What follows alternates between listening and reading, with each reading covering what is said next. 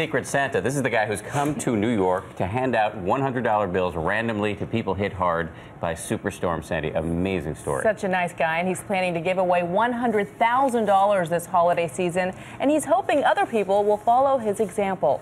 ABC's John Schriffen spoke with him about the holiday generosity and has the latest. He's been doing this for six years now. It's amazing how long he's been doing this for, and he really seems like just a great guy. What a difference a week makes. The Black Friday Madness had shoppers punching and kicking each other for deals, but this man from Kansas City couldn't be more different. He actually forces media outlets to sign a confidentiality agreement not to reveal his identity.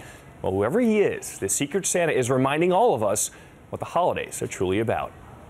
$500, would that help you?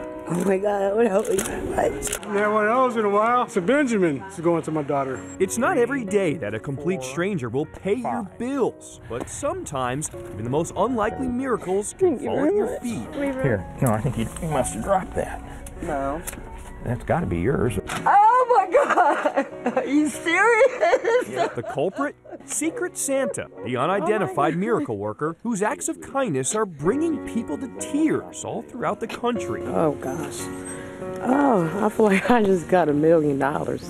He goes from city to city surprising folks with $100 bills, sometimes spending up to $100,000 a year. It's not about the money.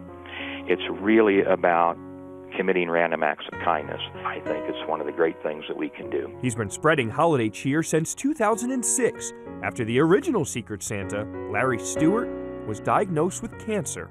I asked him if he had any regrets, and he said, Yeah, I, I just regret that I couldn't have helped more people. Right then and there, I just told him I'm going to take as many $100 bills as I can and stamp your name on them. I'm going to pass them out.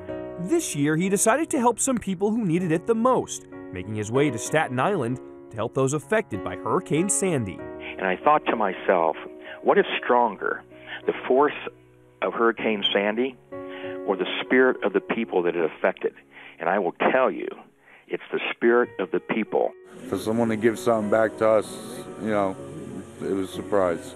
Secret Santa does not show his face, and if his secret identity is revealed, he says he'll have to quit. It takes away from what you're doing. But it's no secret that he's touching lives $100 bill at a time. Thank you so much, Secret Santa. I believe in Santa.